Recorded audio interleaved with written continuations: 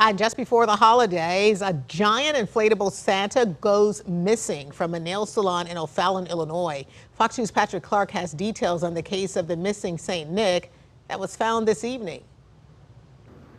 Well, one Metro East business owner facing frustration with laughter, making a social media post telling would be thieves who stole his 20 foot tall inflatable Santa, come back. You forget most important thing to make it stand up. This all happened over the weekend. This was Friday evening and early Saturday morning when the owner of this business here in O'Fallon came in and found the missing Santa. Well, earlier today we got a chance to talk with Trung Nguyen. He's been a business owner for the past 15 years in O'Fallon. A few years ago, to get in a festive spirit for his number one nail business, he purchased a 20 foot tall inflatable Santa from the nearby Hobby Lobby. Customers had grown accustomed to seeing the oversized Santa Claus outside the store, but Saturday morning upon arrival, he noticed the Santa, which gets deflated at the end of each evening, was untied and missing.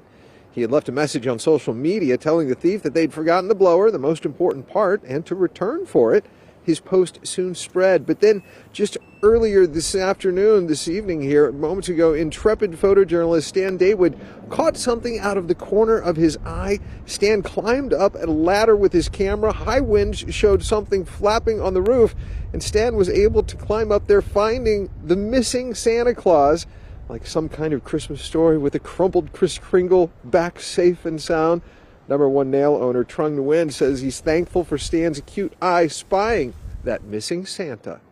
It's a happy ending. Everybody happy now, and uh, maybe for the next time we go find the uh, smaller Santa so we can take it inside every night. So all's well that ends well, and they're going to get a smaller Santa for next year. And good work.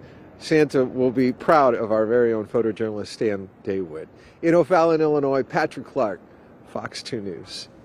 Yeah, that is just testament to how strong the winds have been yes. in our area to blow Santa mm -hmm. on top of the roof. And what a good eye that Stan Absolutely. is. Absolutely. Well, from